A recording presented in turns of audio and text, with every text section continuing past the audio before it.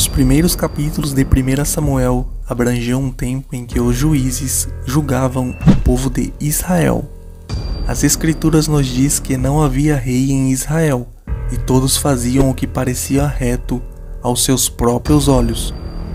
Cada um tinha sua própria opinião, seus próprios pensamentos acerca das escrituras, e naqueles dias raramente Deus falava com o povo, e as visões não eram frequentes observamos o quanto o povo daquela época estava longe de Deus. As pessoas faziam o que parecia bem aos seus próprios olhos, justamente por não terem o ensinamento correto. Não havia dedicação e muito menos zelo pela palavra do Senhor.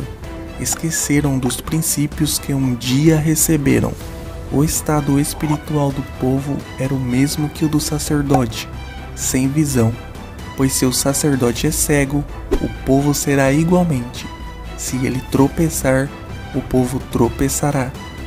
Não haviam vasos de Deus, homens que Deus pudesse usar para guiar o seu povo até a verdade e também livrar de seus inimigos. Havia simplesmente um sacerdote por nome Eli, um homem velho, cego, que já nem cuidava mais de sua própria casa.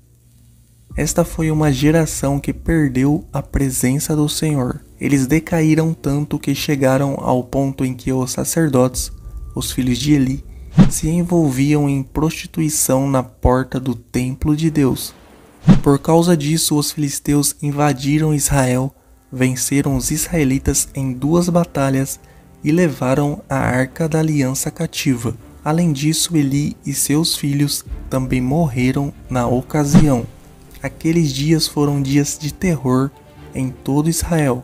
Samuel, ainda jovem, presenciou os acontecimentos e Deus já se manifestava a ele.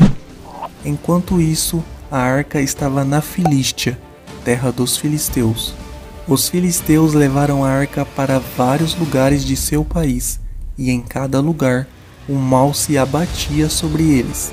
Em Asdod, a arca foi colocada no templo de Dagon. Na manhã seguinte, Dagon foi encontrado prostrado, curvado diante dela, e ao ser restaurado ao seu lugar, na manhã seguinte foi novamente encontrado prostrado e quebrado. O povo de Asdod foi atingido por tumores, uma praga de ratos foi enviada sobre a terra. A aflição de furúnculos também atingiu o povo de Gate e de Ecrom para onde a arca foi removida sucessivamente. Eles então não sabiam se isso era de Deus ou não. Eles então chamaram seus magos e mágicos e disseram: Nós não sabemos se foi Deus quem fez isso ou não. Nós vamos fazer um teste. Peguem um carro de boi e coloquem para guiar esse carro duas vacas. Mas essas vacas precisam estar com cria para amamentar. O que não era normal isso, porque o que guiava o carro era o boi e não a vaca.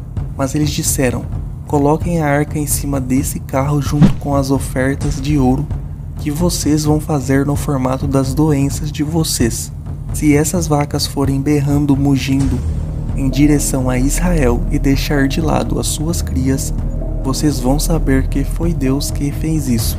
Mas se elas não arredarem o pé e quiserem ficar ao lado dos bezerros, vocês vão saber que foi uma coincidência e que Deus não tem nada a ver com isso. Não deu outra.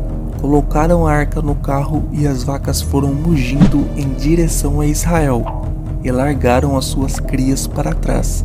Enquanto isso, os moradores da cidade de Bet-Semes, que significa cidade do sol, que fazia divisa entre o território de Judá e Dan, não imaginava o que estava por vir.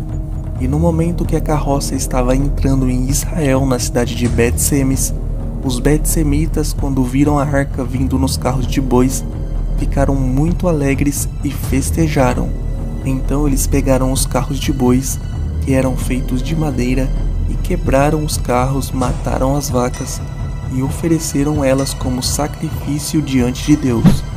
A arca do Senhor tinha ficado durante sete meses nas mãos dos filisteus, e a mão de Deus havia castigado os inimigos por estarem com a arca, e eles devolveram a que eram de direito dos filhos de Israel, que cuidavam dela. mas há muito tempo a presença de Deus representada por aquele objeto não era mais respeitada, tanto que foi parar em mãos dos inimigos. Bet-Semes significa cidade do sol e era uma cidade levítica. Mas o conhecer a lei de Moisés não impediu que os habitantes perdessem o temor ao Senhor e olhassem para dentro da arca. Como consequência, pessoas morreram. E o Senhor feriu os homens de Bet-Semes porquanto olharam para dentro da arca do Senhor.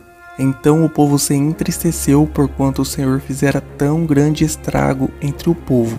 Os homens de Bet-Semes perguntaram: Quem pode permanecer na presença do Senhor, esse Deus santo? A quem enviaremos a arca para que ele se afaste de nós? Então enviaram mensageiros ao povo de Kiriat Jearim, dizendo: Os filisteus devolveram a arca do Senhor. Venham e levem-a para vocês. Então vieram os homens de Kiriat Jearim e levaram a arca do Senhor, e a trouxeram à casa de Abinadab, e consagraram a Eleazar, seu filho, para que guardasse a arca do Senhor. E sucedeu que desde aquele dia a arca ficou em Kiriat Jearim, e passaram-se vinte anos, e lamentava toda a casa de Israel pelo Senhor. Então falou Samuel a toda a casa de Israel, dizendo: se com todo o vosso coração vos converterdes ao Senhor, e tirai dentre vós os deuses estranhos e os astarotes, e preparai o vosso caminho ao Senhor, e servir somente a Ele, então Ele vos livrará da mão dos filisteus. Os filhos de Israel tiraram dentre si aos Balaíns e aos Astarotes, e serviram somente ao Senhor.